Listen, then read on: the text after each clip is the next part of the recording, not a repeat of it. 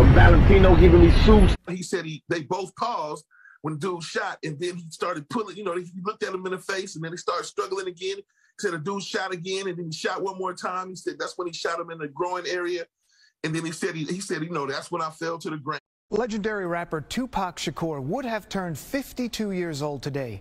His unsolved murder and bitter rivalry with the notorious B.I.G. came to define an era of hip hop. That beef started after a shooting right here in New York City. I've uncovered footage from that time many people haven't seen in decades.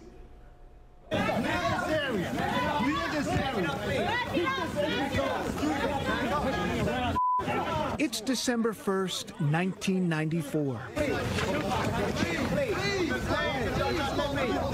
The rare, raw footage of Tupac Shakur in a wheelchair the morning after he was shot in Manhattan. Despite five bullet wounds, the iconic rapper is on his way to court to hear the verdict in his sexual assault case.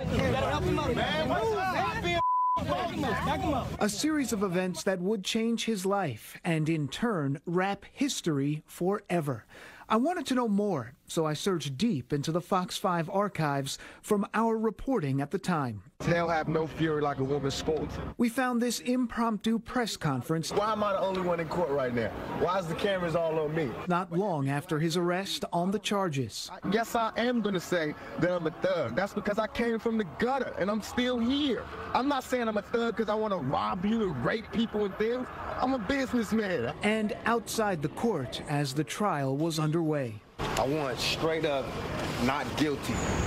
And finally, the night he was shot in the lobby of Quad Studios on November 30th, 1994, a hotspot for rap artists at the time.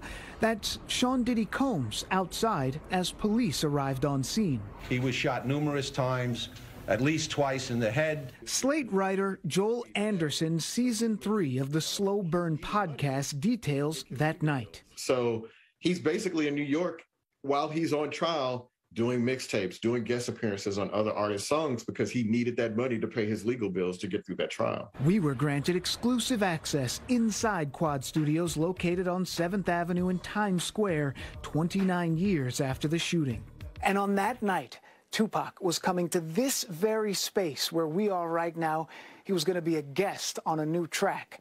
But that's when it all happened down in the lobby of this building. He's walking around the corner and he hears some familiar voices from several stories above. And the people yelling at him were Lil Cease and Chico Del Vec, both members of Biggie's affiliate rap group Junior Mafia. And so they're all excited to see each other. And Lil Cease runs down to the lobby to meet Tupac. Tupac was in the lobby of the building. He was waiting to go upstairs when those three gunmen entered. They demanded jewelry and cash. Tupac initially resisted. Then he was shot five times, and those gunmen made off with about $40,000 worth of jewelry. Eventually, Tupac was dragged into the elevator. What happened next would change the course of rap history forever. He said he grabbed the guy's gun and they were struggling back and forth. Legendary rapper Spice One was Tupac's friend. Together, they recorded classic hits like Jealous Got Me Strapped.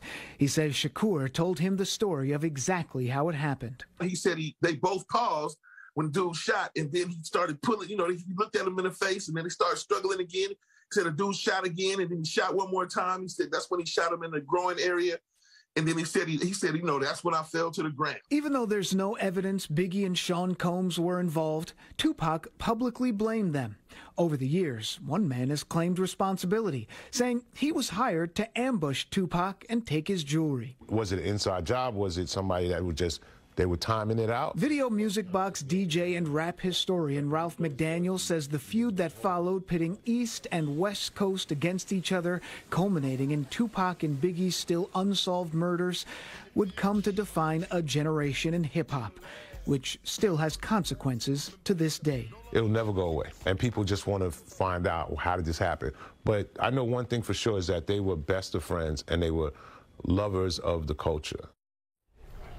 And what started that night changed the trajectory of hip hop and further pushed it into the mainstream. Those two men, Biggie and Tupac, remain relevant to this day. And just this month, Tupac was given a star on the Hollywood Walk of Fame. That's awesome. And it's like you think about their legacy. Mm-hmm. They were only alive for such a short period of time, not to mention they were only out, right? Putting out music for a short period of time, but they literally just changed the trajectory of hip hop. Yeah. Just true lyricists. Yeah. And you can still listen to that music today. 24 and 25 years old, the roots still in what a lot of kids listen to these days. Or need to pop, listen to. Whether it's pop or hip hop or whatever it is. He said he they both paused when the dude shot, and then he started pulling. You know, he looked at him in the face, and then he started struggling again. He said a dude shot again, and then he shot one more time. He said that's when he shot him in the groin area, and then he said he, he said you know that's when I fell to the ground.